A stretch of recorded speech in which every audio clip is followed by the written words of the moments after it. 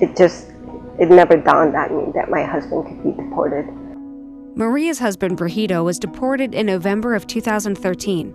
He had been working in this country for over a decade, and his wife and two children are U.S. citizens.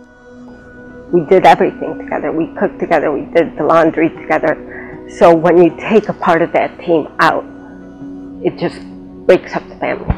My son needs him, my daughter needs him, and I need him.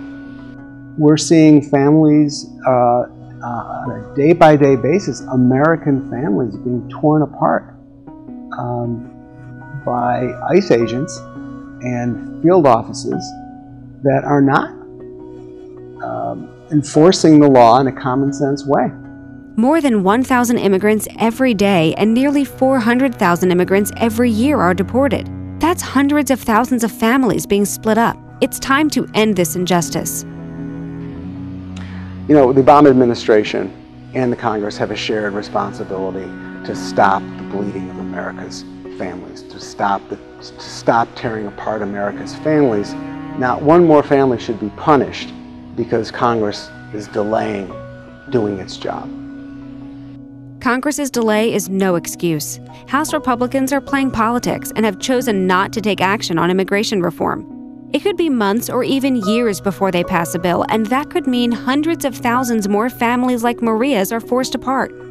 President Obama can stop these deportations.